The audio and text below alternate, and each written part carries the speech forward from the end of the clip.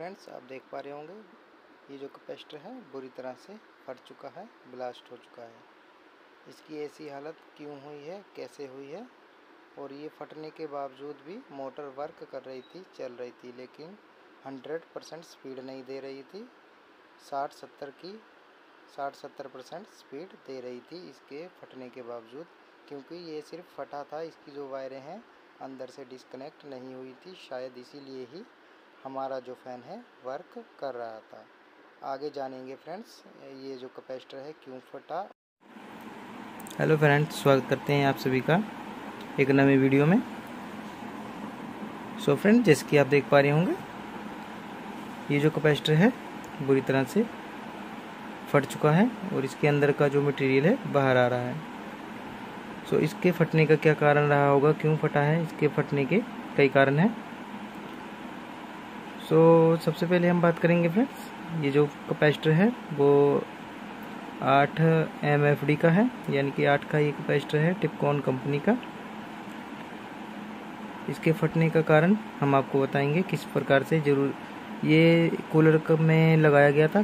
Cooler में ज़्यादातर जो है चार का कैपेसिटर यूज़ होता है लेकिन उसमें जो मोटर थी हाई स्पीड मोटर है इसलिए उसमें आठ का यूज़ किया गया था। सो आज हम बात करेंगे कि ये जो कैपेसिटर हैं क्यों फटते हैं? फ़िलहाल तो ये कूलर का कैपेसिटर है। हर एक मोटर का जो कैपेसिटर होता है अलग अलग उसका U F M F D का होता है अलग अलग उसकी वैल्यू होती है। सो हम आज सिर्फ़ कूलर के बारे में ही बात करेंगे कि ये कूलर का कैपेसिटर है ये क्यों फटा है। चलिए फ्रेंड फटाफट से वीडियो को स्टार्ट कर लेते हैं। सो so, फ्रेंड्स वीडियो का इस वीडियो में बताएँगे कि ये क्यों फटा था? तो चलिए फ्रेंड्स फटाफट से मैं आपको बताता हूँ।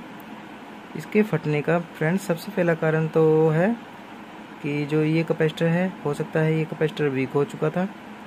नंबर दो इलेक्ट्रिसिटी कम या ज़्यादा आई होगी, या फिर जो मोटर है मोटर ने ज़्यादा हीट प्रोड्यूस की होगी और जो हीटिंग के कारण, इसमें से हीटिंग के कारण फट गया होगा।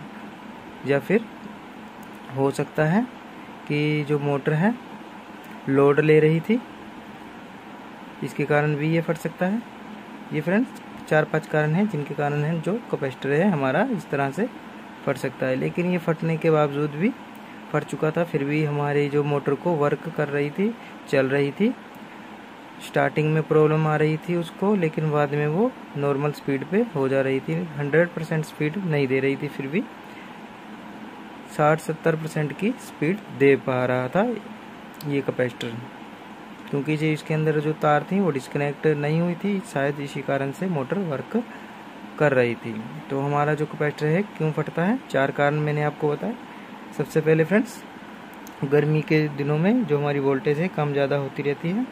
तो उसके कारण भी हमारा जो कैपेसिटर है, फट सकता है। नंबर दो, आजकल जो हमारे कूलर आ रहे हैं, उनमें जो कैपेसिटर है वो अंदर लगाया गया होता है और उसमें कप को ऊपर से ढक दिया जाता है।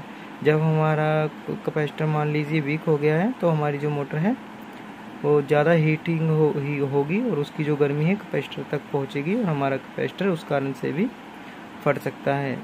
और अगर वोल्टेज ज़्यादा या कम आती है तो भी हमारा कैपेसिटर फट सकता है। इसीलिए फ्रेंड्स जो पहले कूलर आते थे उनमें सभी में जो मोटर जो मोटर के अंदर कैपेसिटर नहीं लगाया जाता था बाहर ही लगाया था लगाया जाता था। डिफरेंट डिफरेंट मोटर में फ्रेंड डिफरेंट डिफरेंट कारण हो सकते हैं। समरसीबल में अलग हो सकते हैं। टुल्लू पंप जो होता है उसमें कोई अलग कारण हो सकता है लेकिन लगभग से 50 परसेंट सेम ही कारण होंगे। सो फ्रेंड्स उम्मीद करता हूँ आज की वीडियो में आ, आपको कुछ नॉलेज मिली होगी। वीडियो अच्छी लगी तो वीडियो को लाइक शेयर सब्सक्राइब ज़रूर करें। कमेंट करना ना भूलें ताकि जो आने वाली वीडियो में हम जो आ, आप कमेंट करेंगे उसके ऊपर ज़रूर वीडियो बनाएँगे। इसीलिए कमेंट में ज़रूर बताएँ कि आप किस टॉपिक पे वीडियो चाहते हैं उस पर हम वीडियो ज़रूर बनाएँगे। मिलेंगे फ्रेंड नेक्स्ट वीडियो में नेक्स्ट टॉपिक के साथ।